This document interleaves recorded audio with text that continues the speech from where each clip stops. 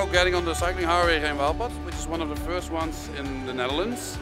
And it connects the cities of Arnhem and Nijmegen together. And uh, the primary idea was to serve commuters.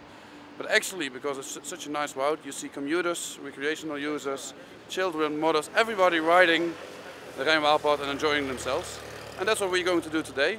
We're with a whole bunch of people, have a look around, and uh, we will enjoy ourselves getting to the opening reception of Velocity. We're now waiting for some people stuck at the lights.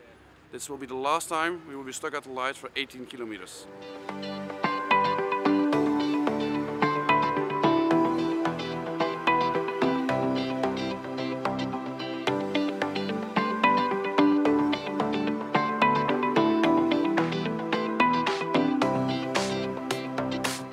In this region we created a network of supercycle highways.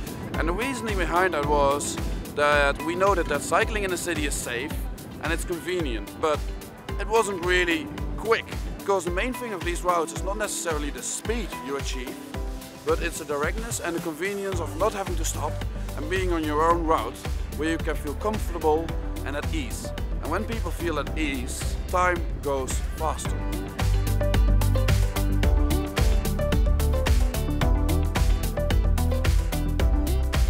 But when you enter the residential neighborhoods, we designed them into cycling streets. With the designs, we put cyclists first, and then we put cars second.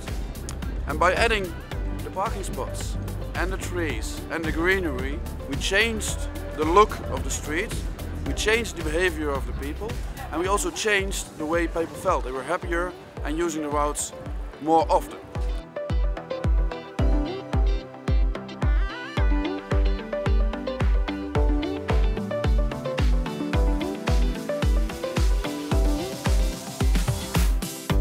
Designed uh, lighting for the cycling routes, which you can see very, very clearly from the, from, the, from the freeway. So I can tell you that every car driver in the traffic jam next Monday morning knows that there is a cycling highway and he knows that there is an alternative. And we see slowly but steady, we see people reconsidering the transportation options and shifting, even on regional trips, from the car to the bike. We've got a tunnel in the cycling highway and tunnels are not always nice places. So to do some innovation, we developed an app and the app gives you information about the route, about the weather and so on, pretty normal, you know, Strava and stuff. But in the tunnel, we also said we need an extra set of lights. And with the app, you can now control the lights.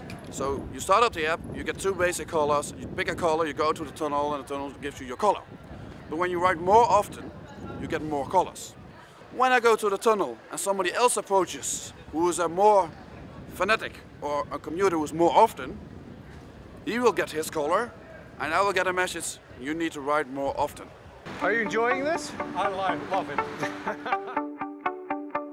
incredible the priority that's given to cyclists. I mean, it would just make it so much more attractive for people that don't cycle at home if they could just have a go on how it is here. We see the potential um, for intercity travel in North America because right now all, you've got one choice and that's the automobile and, and to provide options would be would be pretty amazing. We're so isolated in the city sometimes because we don't have a car to get around and you know those super highways would be just a way to just expand our horizons and be able to explore even more.